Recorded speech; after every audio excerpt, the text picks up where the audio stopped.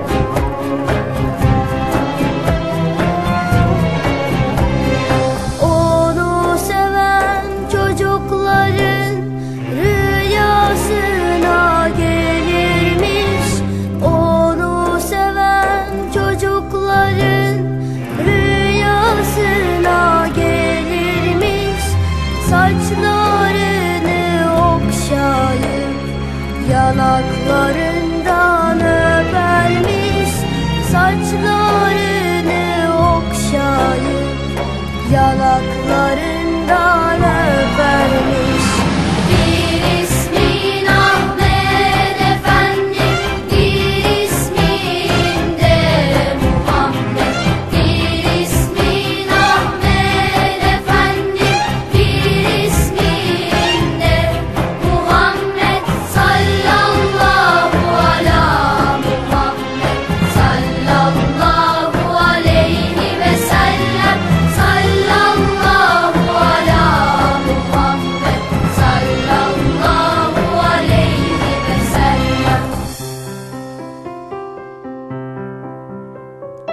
Bir ismin Ahmet efendim Bir ismin de Muhammed.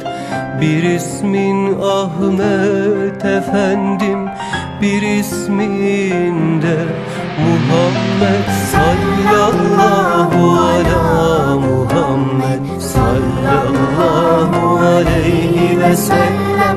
Sallallahu ala